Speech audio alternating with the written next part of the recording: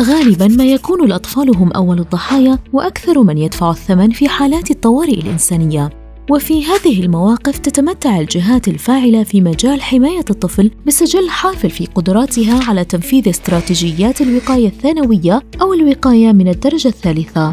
تتناول الوقاية الثانوية مصدرا محددا للتهديد و أو نقاط الضعف المحددة لدى الأطفال الذين تم تحديدهم على أنهم معرضون بشكل خاص للأذى في حين تستهدف الوقاية من الدرجة الثالثة الأطفال الذين تعرضوا بالفعل للأذى وهي تهدف إلى التقليل من الآثار طويلة المدى لذلك الضرر على الطفل فضلا عن تقليل فرصة تكراره مرة أخرى مستقبلا ومع ذلك لم يتم الاستثمار بشكل كاف في آليات الوقاية الأولية والتي تسعى لمنع الضرر قبل حدوثه على نطاق واسع من خلال معالجة الأسباب الجذرية لذلك الضرر على مستوى السكان.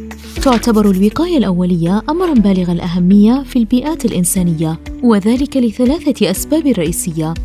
أولاً، ثمة مسؤولية أخلاقية تقع على عاتقنا لوقاية الأطفال من الأذى كلما أمكننا ذلك. ليس من المناسب ولا هو من مصلحة الطفل أن يتم انتظار حدوث ضرر ما يمكننا بالفعل منع حدوثه وعدم فعل أي شيء قبل ذلك.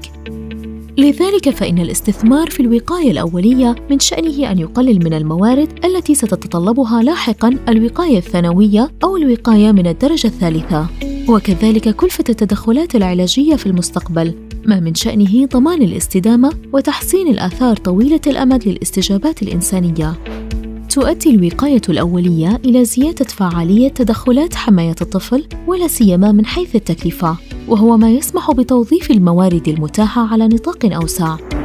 تظهر البيانات المستخلصة من القطاعات الأخرى مثل قطاعي الصحة العامة والتعليم أن التدخلات الوقائية المبكرة يمكن أن تكون أكثر كفاءة وأكثر فعالية من حيث التكلفة من محاولات التعويض عن التقاعس عن العمل لاحقاً. لمزيد من المعلومات عن حماية الطفل في العمل الإنساني يرجى زيارة موقع تحالف حماية الطفل في العمل الإنساني.